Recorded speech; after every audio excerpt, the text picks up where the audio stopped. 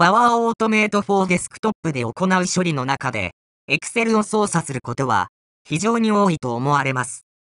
データを自動で入力したり、ファイルに保存したりなど、Excel の基本的な操作を行うことができます。今回は、パワーオートメイト4デスクトップで Excel を操作する方法を解説します。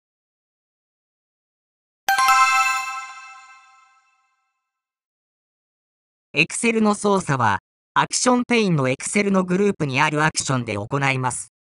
Excel グループを開くと、Excel の起動やワークシートへの書き込み、ファイルの保存など、基本的な操作を行うアクションがあります。簡単な例として、ファイルを新規作成して、A1 セルに ABC と入力し、ドキュメントフォルダに abc.xlx のファイル名で保存してみます。パワーオートメイト4デスクトップで Excel を操作するには、まず Excel を起動します。これは、Excel の起動のアクションで行うことができます。このアクションを画面中央のワークスペースにドラッグします。すると、アクションのパラメータを設定する状態になります。Excel の起動のパラメータで、起動時に空のドキュメントを作るか、既存のドキュメントを開くかを選択することができます。既存のドキュメントを開く場合は、ドキュメントパスの欄の右端のファイルの選択アイコンをクリックして開くファイルを選択します。今取り上げている例では、ファイルを新規作成するので、Excel の起動のパラメータでは、空のドキュメントを使用を選択します。Excel が起動したら、A1 セルに ABC と入力します。これは、Excel ワークシートに書き込むのアクションで行うことができます。このアクションをワークスペースにドラッグした後、書き込む値のオプションに、セルに書き込みたい値を入力します。書き込みモードのオプションでは、書き込み先のセルを指定したセル上と、現在のアクティブなセル上から選択します。指定したセル上を選択した場合は、その下の列と行のオプションで書き込み先のセルの列と行の番号を入力します。なお、実際の Excel では、列番号は A や B のアルファベットで表しますが、このアクションでは、列番号も1から始まる数字で指定します。今取り上げている例では、書き込む値のオプションに ABC を入力します。書き込みモードのオプションで指定したセル上を選択します。そして、列と行のオプションのそれぞれに1を入力します。最後に、ファイルを保存します。これは、Excel の保存のアクションで行うことができます。保存モードのパラメータで保存の方法を選びます。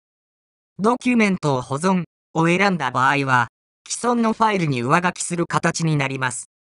一方、名前を付けて、ドキュメントを保存を選ぶと、ファイル名やファイル形式を指定して保存することができます。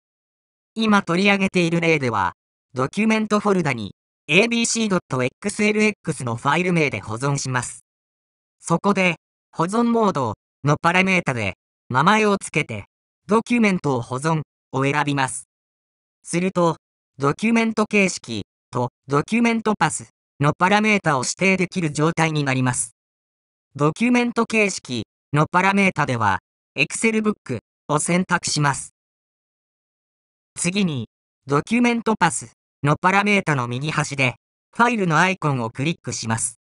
すると、ファイル選択ダイアログボックスが開きますので、ドキュメントフォルダを選択し、ファイル名の欄に abc.xlx と入力して、開くボタンをクリックします。なお、Excel の保存のアクションだと、ファイルを保存した後も、Excel は起動したままになります。ファイルを保存して Excel を終了したい場合は、Excel を閉じるのアクションを使います。その場合のパラメータの指定方法は、Excel の保存のアクションの場合とほぼ同じです。実行ボタンをクリックしてフローを実行してみます。Excel が起動して、AH セルに ABC と入力され、そして abc.xlx のファイル名で保存されます。試しに、ファイルを閉じた後、Excel を再度起動して、 abc.xlsx ファイルを手動で開いてみます。すると、AH セルに ABC が正しく入っています。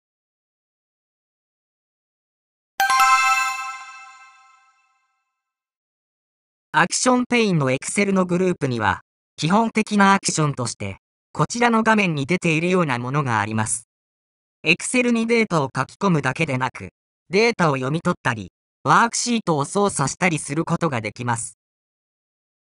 アクションペインの Excel のグループの中に、詳細というグループがあります。そこを開くと、詳細なアクションが表示されます。詳細なアクションとして利用できるものは、こちらの画面の通りです。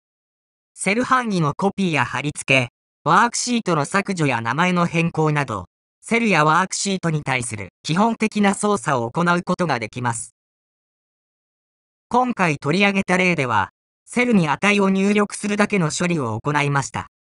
しかし、変数や繰り返し、また条件判断などを組み合わせると、より複雑な処理を行うことができます。変数などについては、今後の回で解説する予定です。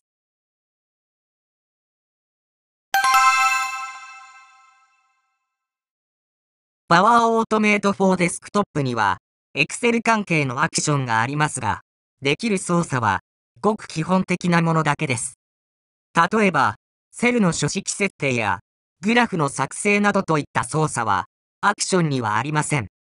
パワーオートメイト for Desktop の各種のアクションの中には、ウィンドウ上の特定の要素をクリックしたりなど、ユーザーインターフェースを操作する機能もあります。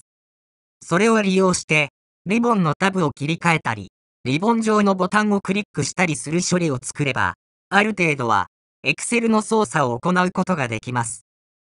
例えば、グラフを作る場合、リボンを挿入タブに切り替えて、グラフのボタンをクリックするという操作をマウス操作等のアクションを組み合わせて作ります。ただ、このような方法だと、フローの動作に時間がかかります。Excel には、行った操作を記録するマクロ記録の機能があります。また、Visual Basic for Applications 言語でマクロを自作することもできます。一方、パワーオートメイト for Desktop の Excel 関係のアクションの中には、マクロを実行するアクションがあります。